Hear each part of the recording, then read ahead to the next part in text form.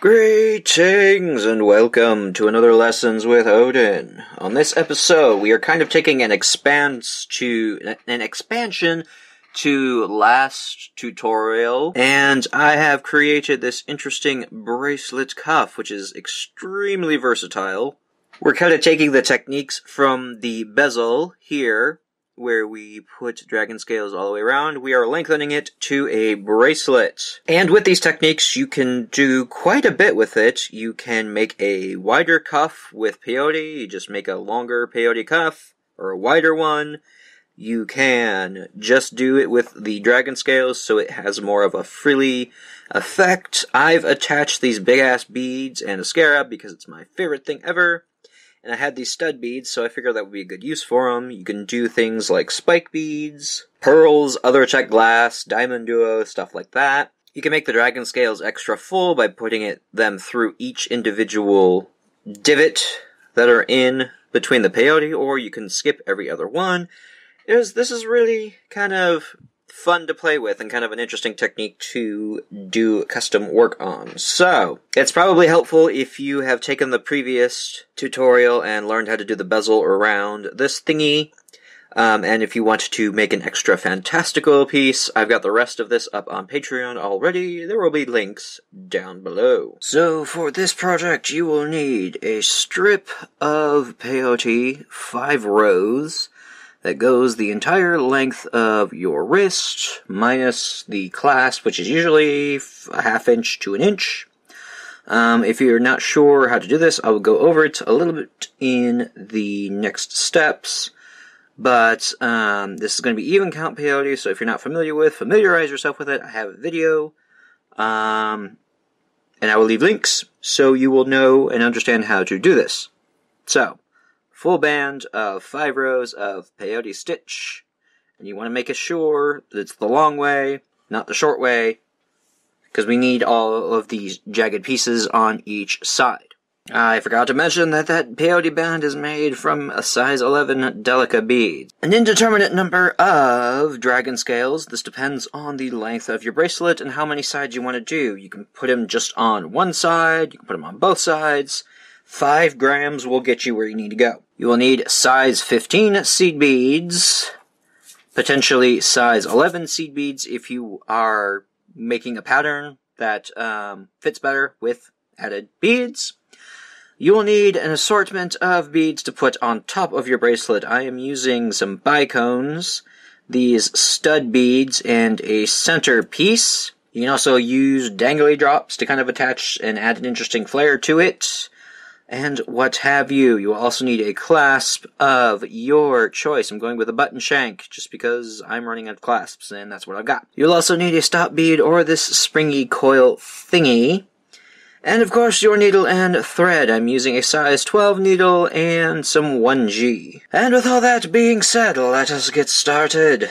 Alright, so the first thing we need to do is develop our initial peyote base for our bracelet. And we're going to start that off by adding on a metric fuck ton of beads. So what I mean by that is you'll want to add about enough delicas for a bit more than your bracelet length, minus whatever you're going to be using for your clasp, which is usually a half inch to an inch, somewhere between there.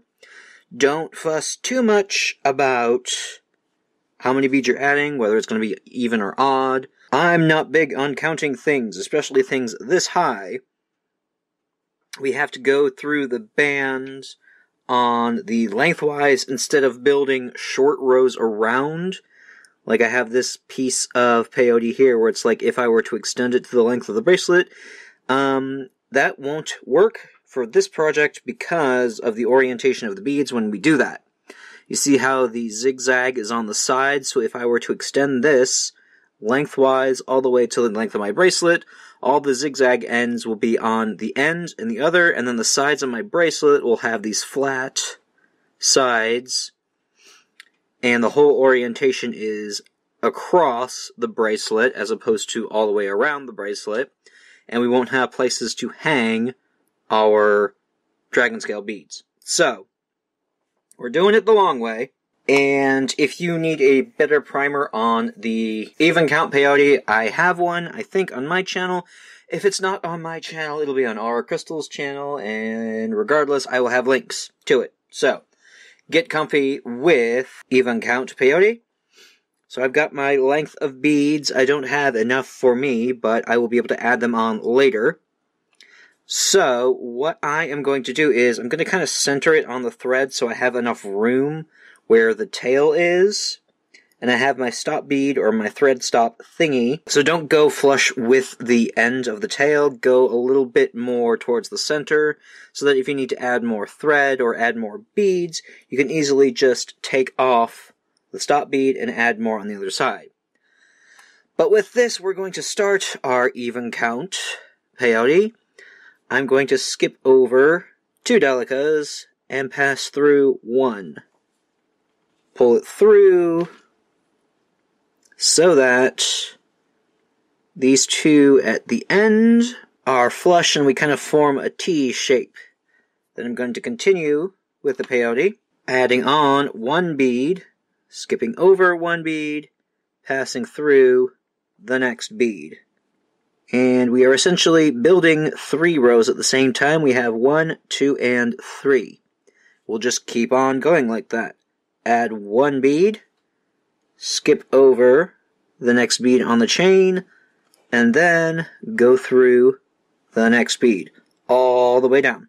You'll see the difference this makes as you elongate this pattern. We have our zigzags on the bottom. Here we have our zigzags on the sides. Our whole orientation is moving sideways, whereas in this piece, the whole orientation moves up and down. So we want this, not that. So keep on going down until you have about the length of your bracelet. Alright, so once you have finished the length here, you can see I have an extra bead over on my stop bead that will prevent me from continuing my even count peyote, which means I have an odd count peyote. So all I'm going to do is take off my stop bead and remove that. From there, I can turn my thread and continue by adding on one bead to my next row, so forth. Basically adding row number four and moving down the line. But in this case, I do not have enough beads on my row to cover my wrist, so I am going to remove my stop bead from this thread where I was at. I'm going to move it to my working thread just so that I stay in place because this is very loose and all these beads will come out. I'm going to put my needle on that what was the tail thread. Then continue by adding more beads till I feel like I got a good length to work on. Pull that down. Take my needle off. Take my stop bead off of my working thread. Put it back on the tail. Put my needle back on my working thread and then continue adding one bead, skipping over one bead, going through the next bead. So you will work on that until you have the length of your bracelet that you need minus your clasp, and then you'll turn your thread and build on rows until you have two more rows on top of this. So you'll have a total of five rows. So once you have the entire length of your band, it should look something like this. I am going to take my stop bead off of my tail end and I'm just going to attach the clasp so that I'm not fussing with this extra thread because I hate it. So I'm just going to add seven size 15s and my clasp. It doesn't really matter how I put them on because my clasp has a hole big enough to fit through the size 15s. So yeah, just put in as many as you want. Loop that through. I changed my mind. I'm adding 13 size 15s because I kind of want this button shank to have a little room. So that working thread came out of this one side. I have two beads on my peyote on this side. I'm just going to go through this one to complete that loop. So I have that. Then I'm going to reinforce that loop a couple times and end this thread by weaving into the peyote. Alright, so now I'm going to work on adding the dragon scales. I'm going to add them in between these gaps. Kind of like what we did when we were making this border with the dragon scales there or on a bezel. We're doing pretty much the same thing. Currently my thread is coming out of the furthermost bead right here, the delica bead there. I'm just going to follow the peyote pattern and move to the next bead, as well as the most sticky outy one, because we're all going to cinch each and every one of the dragon scales into these ones, these gaps, little things here. Pull that through. Try not to catch any other beads on the way. And we are set there. This first one's going to be different because it's got nowhere to go in terms of the patterning. So just keep that in mind. Going to add one size 15, one dragon scale, one size 15. I'm going to pass back through the bead that we came out of and then delica right underneath so that we start half of our dragon scale. I'm going to work my thread around so that we end up back into this bead. I'm Going to go through the next delica on the opposite side. I'm going to go up this gap here. Going to turn my thread around. Then basically from these three beads here, I'm going to do a zigzag to turn my thread around and get my thread back into the proper orientation. So coming out this way, I'm going to go through the center bead, just that center delica, pull that through. Then I'll turn my thread around again, go through that very first bead that we started from to add our dragon scale. Now I'm going to go up one size 15. I'm going to pass through the dragon scale Add on one size 15. Pass through to the next Delica bead that is sticking out. Add on a size 15 dragon scale size 15. Go back through that same Delica bead. And then we have three size 15s. We need to have our last one, so we will add one size 15 and pass through the dragon scale. so that we anchor it in between the gaps of the peyote. Now we need to add two more beads and finish this side. So I'm coming out of a dragon scale. I'm going to go down the size 15 on the same side. Go through that next delica, and my needle has already picked up the next size 15, so you might as well do that too. Then we're going to go through the dragon scale.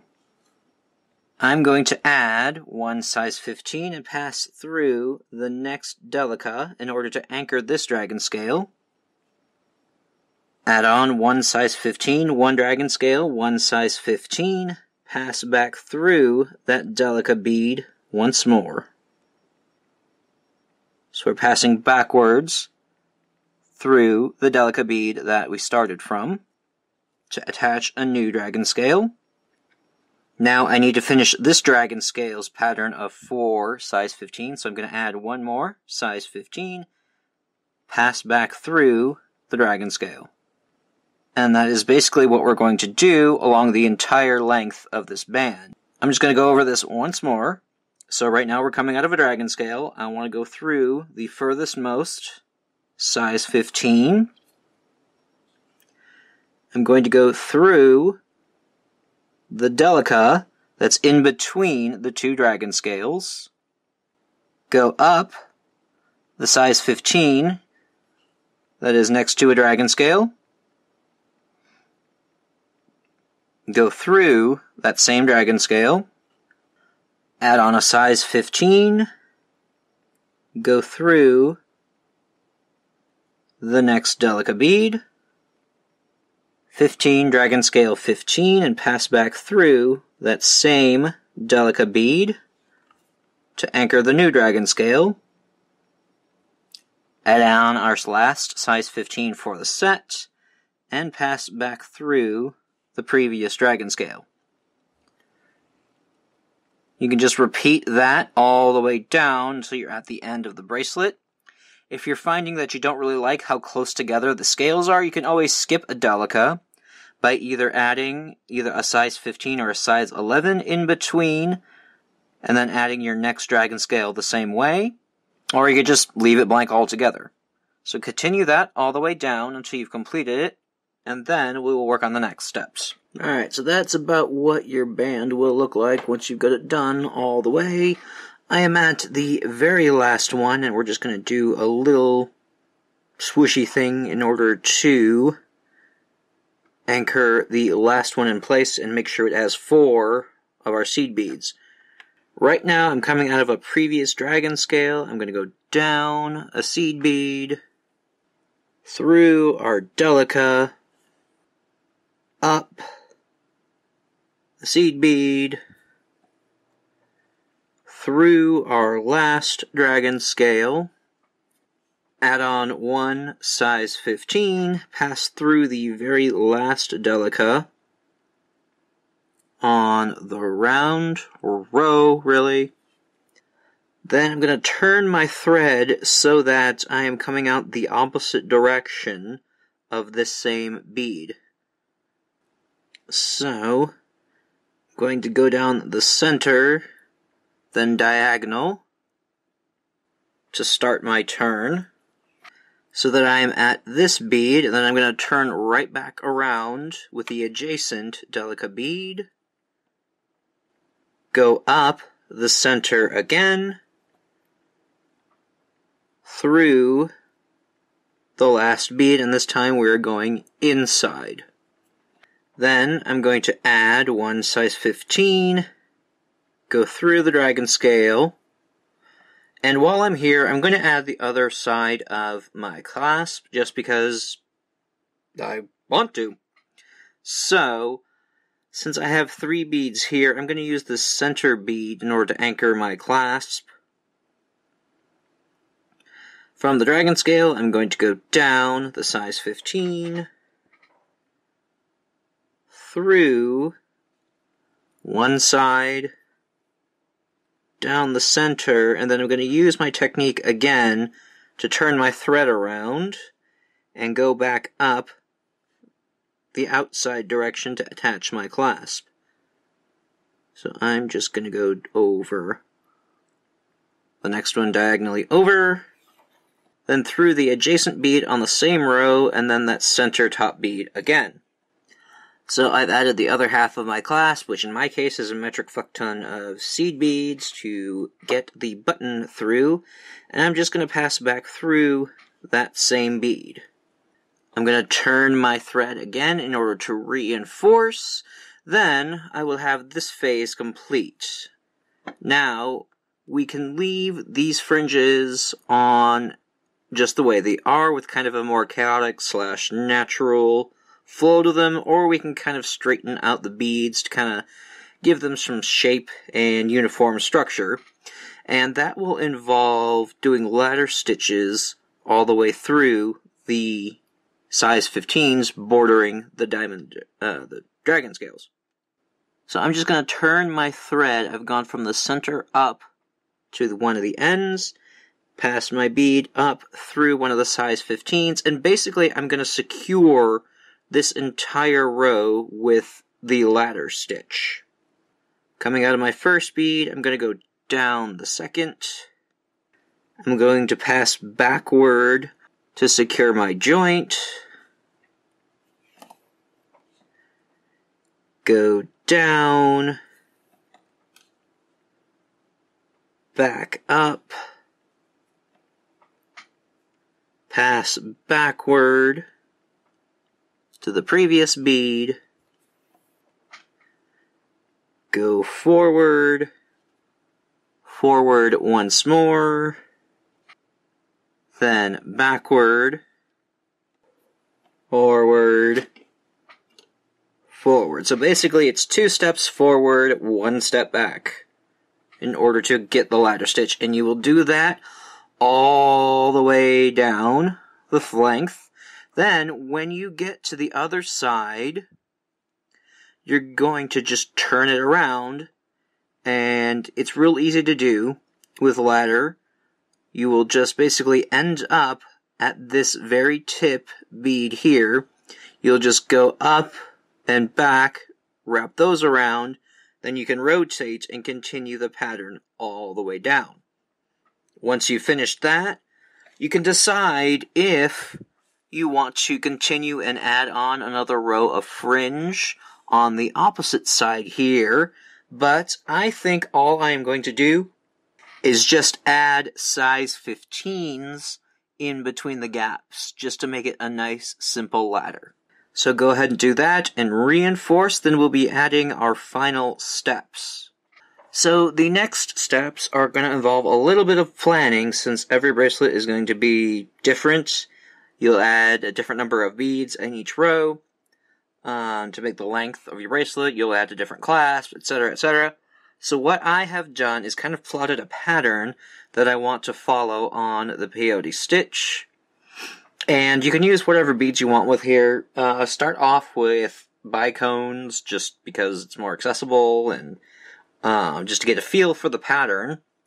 But for me, I'm going to add a bicone, these stud diamond things from Swarovski that I've had and I've wanted to use forever. Um, this one is a single hole, then a bicone, stud, bicone, stud, bicone, stud bicone, and then a centerpiece, which in my case is a scarab bead because I have plenty and I love them. Then repeat the pattern on the other side.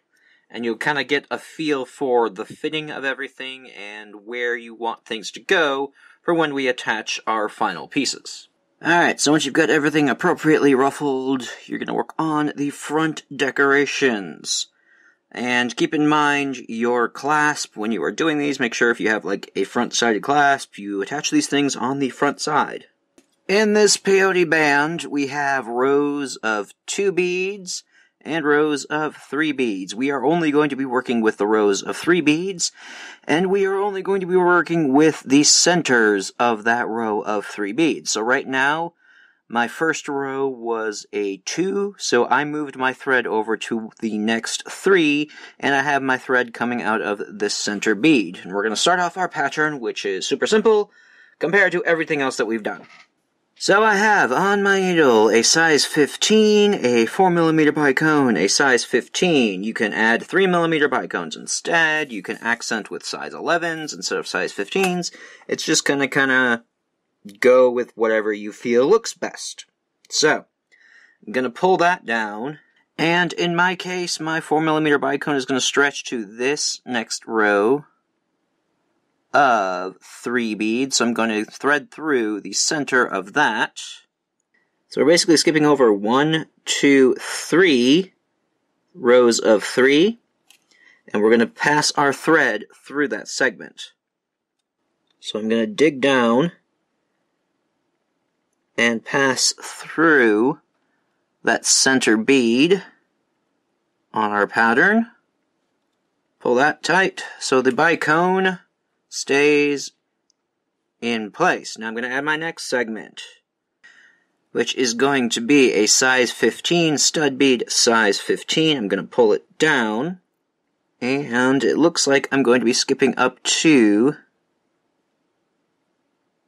here this next row of three if I put that down. So, shove that all down. Basically skipping one, two, three. And passing through the center bead on that row. I pull tight. And I have my bead attached. And we're just going to keep going down that path until we reach the end. I have a center bead, so I'm going to pay attention to my center, and it's going to take a few more pieces, especially because this hole is so big, it's going to eat my size 15s. So I'm going to add size 11 next to that. So it's going to look like a size 15, size 11, my focal, size 11, size 15 when I thread it in the center, and continue my pattern on. Then, when I get to the opposite side, I'm going to turn my thread around and go back through every single one of those beads so I reinforce it. Because that's a, the thread that I'm using is kind of on the weak side, and that's going to probably take a lot of pressure. So, I am going to reinforce it. And then you will have your finished bracelet. So, I really did enjoy doing this with the little fringy bits. I just really had fun with that technique and I wanted to try something more of with it. Um, it's gonna curl a bit with the way it's stitched and the way it's together. As I also had a lot of problems with things lining up properly. It is a tight space, but ultimately it doesn't really matter that much. It looks pretty cool. The way it curls around might not um, curl that much if you put fringe on the other side. I don't know. Try it out. Send me pictures of it and feel free to tell me if doing it on the other side works as well. But this was a really fun project. You can do all sorts of shit with random beads. You can even put spike beads there um, pearls, bicones, random other Czech glass shapes. You could probably put some diamond duos around there, but yeah. This was a fun project, so definitely share with me what you did with this. You can do like a full necklace out of this, you can do a ring out of this, whatever floats your boat. And if you haven't done so already, be sure to check out the previous tutorial where we learned how to do the bezel like this with the diamond duos. And if you want to amp it up a little bit further, join us on Patreon, where we have this giant big ass assembly here.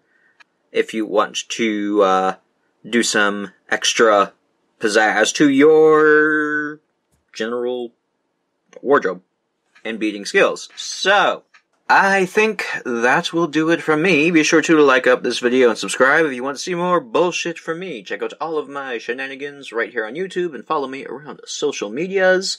Check out my new book that is coming out on Halloween. There is an official book trailer on that as well as links to pre-order everything will be down below. And thank you to my Patreons for all of your support. You are fantastic.